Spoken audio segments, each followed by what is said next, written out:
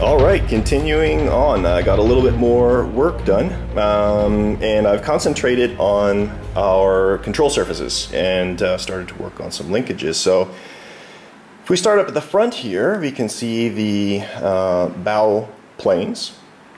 Uh, those are run through. It comes with brass bushings uh, with the kit. Uh, ran them through the inside, and then I created these supports on the inside with some wheel collars to make a nice, stable, sturdy um, support on the inside for the dive planes. Uh, moving back here, you can also see that I have laid in some lead shot, some uh, you know lead bearings uh, or balls in the keel. And then what I did is uh, mixed up some epoxy resin uh, poured that in and that's all sealed in there now. And that is going to be our ballast to help keep the submarine stable during static operations. Uh, and then of course you can see I've also drilled uh, several holes in the keel for drainage. And that's going to allow water obviously to get into the hull uh, when you first put it in there, but also for water to exit the hull when the ballast tank is emptying. Um, moving to the back, you can see all of the control surfaces back here have been installed. And you know, one thing I'm going to note at this point is it's exceptionally important when you're creating uh, you know, your linkages and control surfaces that they move very, very freely without binding. So this is very, you know, free moving. You can see there's no stress uh, or anything like that. Uh, and same with the rudders. And the way I've set up these linkages, um, you'll see that the dive planes uh, are in the back area there. And they're separate, they're not connected, and neither are the two uh, rudders. So what I'm going to do is I'm going to run separate control arms out uh, into this section of the boat uh, and then link them together there because you just don't want to have to worry about messing around too much in an enclosed area like this. And this upper part of the hull is adhered to the lower. This is all permanently bonded now. And the last thing is uh, I have installed the brass bushing for the main drive propeller uh, in the back, ensuring that it's centered. One thing about this kit, unfortunately, and I don't know if you can see it uh, here, is the, is the um, actually the cross section is actually uh, an oval. So it's it's not a perfect circle. Um, so as such, I've had to sand the upper edge down a little bit to make it flush with the uh, with the propeller, which I'll grab for you here right now. Let's just put this in place. And the drive shaft will obviously need to be cut to length and everything, but uh, get that in place there like that. So you can sort of get an idea about how it's going to look. So that's kind of the seam that we're dealing with. Trying to make it flush, you know, up there. Very, very free um, spinning propeller. Looking forward to getting everything all uh, connected and getting that uh, going as well. It's going to look absolutely gorgeous. I love that propeller. Um, that's pretty well it. That's the progress that I've made uh, here thus far. Um, from this point, I think I'm going to put some primer up on the inside of the hull. Uh, and then actually we're going to be moving on to linkages. Okay, as you can see, I've got uh, quite a bit more accomplished on the boat. I've got the uh, interior all primed out. Got the cylinder in place so that I can work on my linkages uh, as well as the battery to make sure I don't interfere there. Front dive planes uh, have been completed. I've got an adjustable uh, linkage clevis uh, on the front. and that's really important to make sure that you build in some adjustability because you uh, are very rarely going to get it right uh, the very first time and of course things change over time you want to be able to adjust that you know back and forth so all of these um, arms are uh, adjustable you can just loosen off this uh, set screw there and you can adjust all of the arms.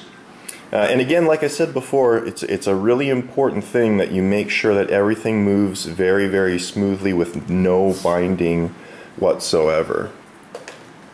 Um, moving to the back here, uh, I have mounted a little bulkhead uh, made out of aluminum L-channel. I've got my bushing in there for the main drive propeller, mounted my uh, dog bone connector to the drive shaft there, and I've started working on the rear linkages, and I got the, the light turned on there so you can see how that kind of looks on the inside.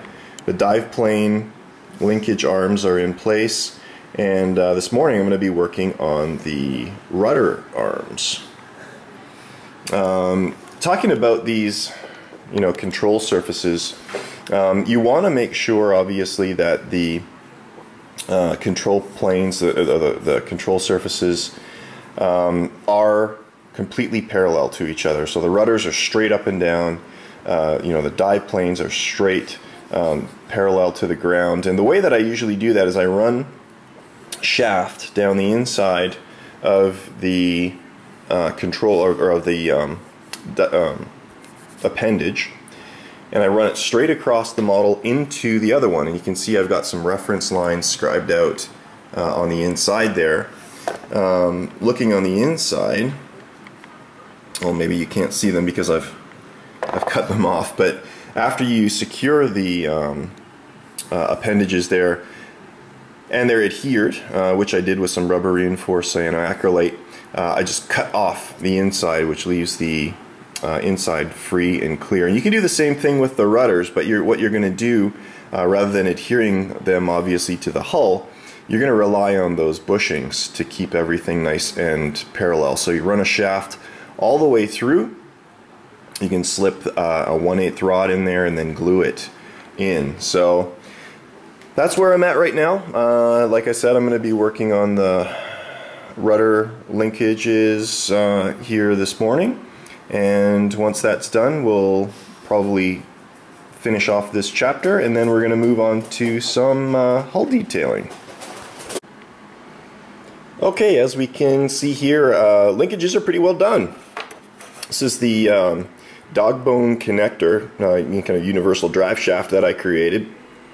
And um, the other important thing that we need to do here before we uh, finish up this chapter is balance out the prop. And this is really important because that is a massive solid brass propeller. And uh, when it is out of balance, it will shake the entire model without a problem. So what I got it sitting on there uh, is a prop balancer. And that was uh, kind of stolen from my quadcopter.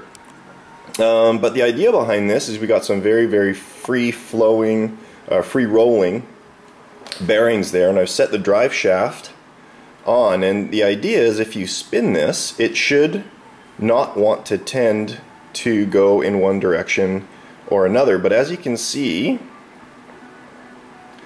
it's got a heavy side and I've got a little mark down there on the bottom so what I'm actually going to do being that that is the heavy side of the propeller I am going to uh, drill out uh, some brass from that part of the propeller, put it back on the shaft, and we'll see if we can get it nice and balanced.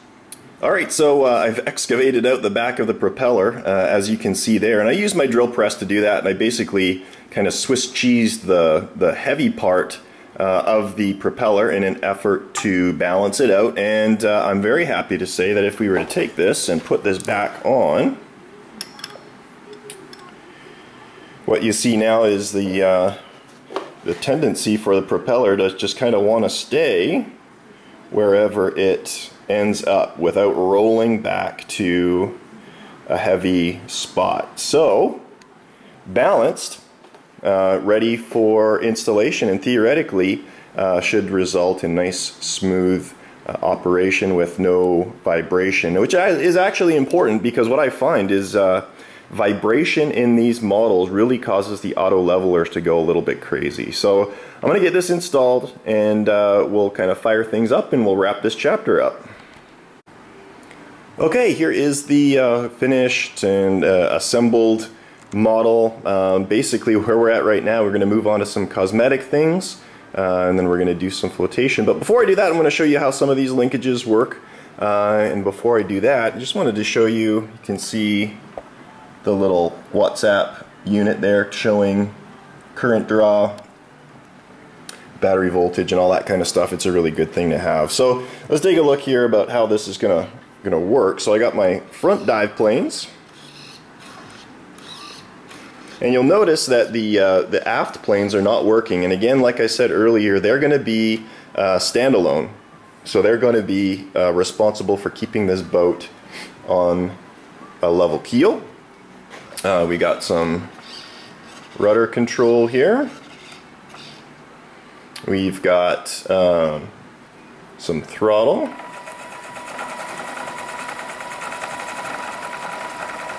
You can hear that's nice and smooth, very little vibration. And then the last thing, of course, is we've got some uh, pitch control.